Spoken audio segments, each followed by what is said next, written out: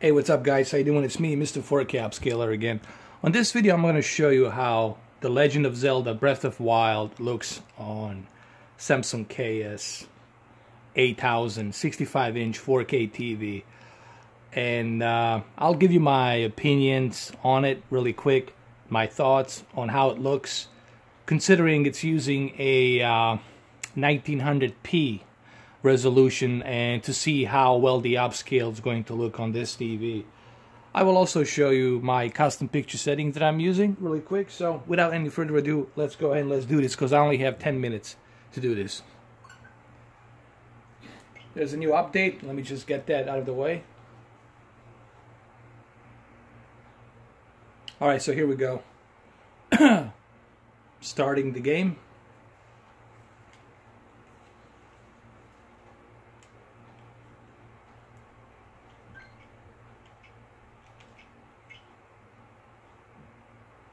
Should start right now. It's loading. And uh, let's see how it looks. Nintendo presents.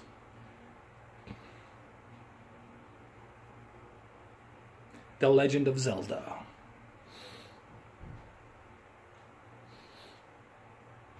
Breath of the Wild.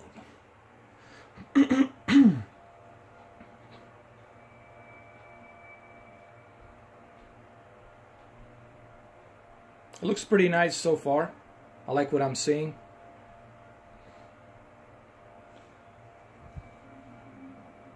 Open your eyes. Peak brightness. Look at that peak brightness just popping out.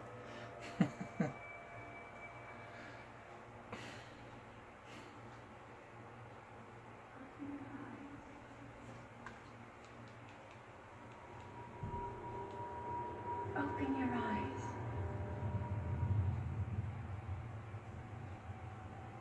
Wake up, Link. This looks really good, man. I'm I'm really impressed like as to what I'm seeing in terms of upscale. This is pretty nice. Sure there's some jagged edged lines because this is not powerful GPU, you know, but uh, the upscale is pretty good, man. Considering this is a 65 inch 4K TV. I like what I'm seeing here. This is pretty cool.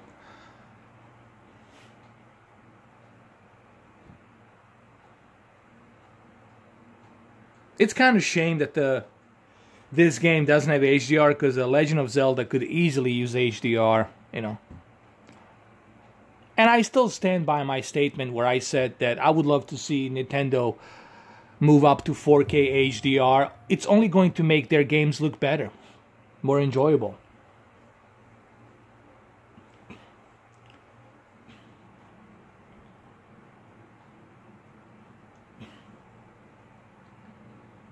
It looks really nice. I'm going to skip through this really quick. We'll go outside. I want to show you how it looks outside, not like inside, but outside.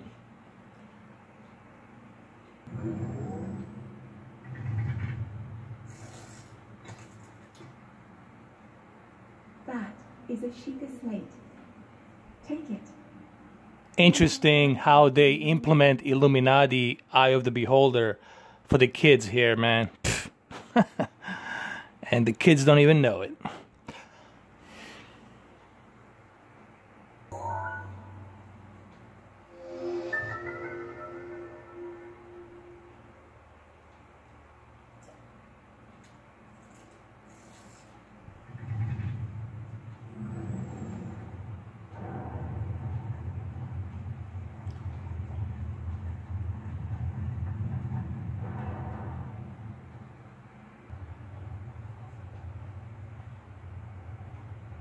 Wow, this looks nice, man.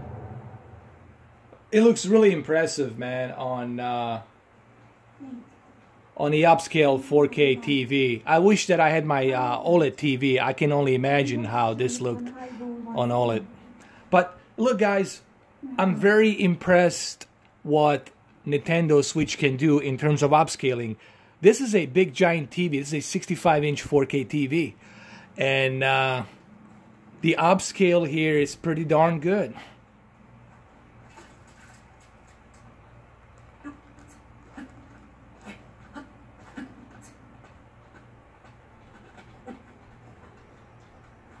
Wow, look at here.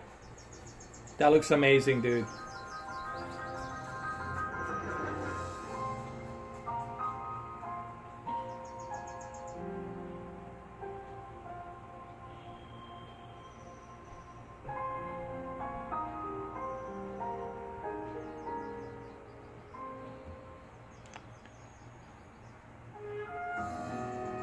Well, my friend Mr. Struders, he wasn't lying. Uh, he was correct. The upscale looks phenomenal. Very impressed.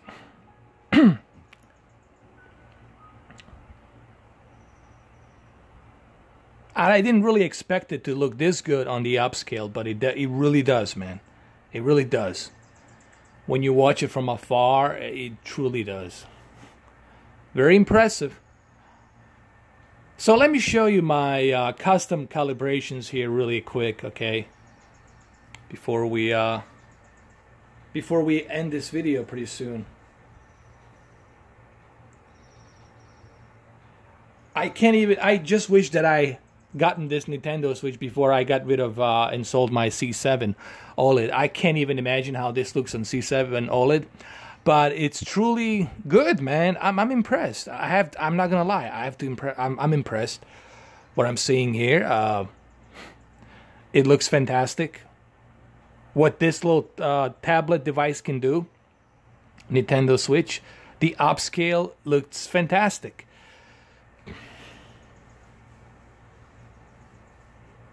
And this is a big TV. This is a 65 inch gigantic TV. I'm like seven and a half feet away, feet away from this, and looks gigantic. This is like huge, man. And it looks great. Now let me show you my uh, custom picture settings that I have here really quick. Okay, let me show you that. All right, so this is for those of you who have Samsung KS8000, and I know there's a lot of you that have Samsung KS8000, okay? Because the OLED, it's expensive. I don't think a lot of you have OLED. Uh, here is my custom picture settings for Samsung KS8000. Backlit, I felt 15, it's okay because it's not HDR. I don't need to go full blown. The only time you turn contrast to maximum and backlit to maximum is when The only time you do that to the maximum is when you are running HDR. If you're not running HDR, you don't need to have contrast and backlit all the way high. I felt like brightness should be a little bit down, 38, so I can get more of that dimming, so I can get more of those deep dark levels. And when you're looking at it from a center, it definitely looks great. You definitely get those much richer deep dark levels. And this is the best I can do for the uh, LED. Sharpness, I felt moving it up to 24. 20, it's their default. I felt going four clicks more to 24 seems to be appropriate for this game. Uh, color, I felt 63 instead of 55 because it's not HDR and I need a little bit of that color to pop for this game. So I went ahead with 63. Now here's the, the most important trick here, people. Digital Clean View, turn that off. Automotion Plus, turn that off. Smart LEDs, turn that off. And HDMI black levels, keep them low because you want to get those deep dark levels. Dynamic contrast, turn that off. If you keep it high, your white balance will be all screwed up. Color, keep it at standard because that's the balance between warm and cold temperature. So keep it at the middle, standard. And the gamma, keep it at minus three you got to make sure you keep your gamma in minus 3. So that's pretty much where I'm running. And yes, color space, I keep it at native, which is the best right there. I only have 30 seconds left or so. So, uh, looks great. I don't know how many of these videos I'll be able to do, but uh, we'll see. Thank you guys for watching. I appreciate it. Have a good one though. Take care.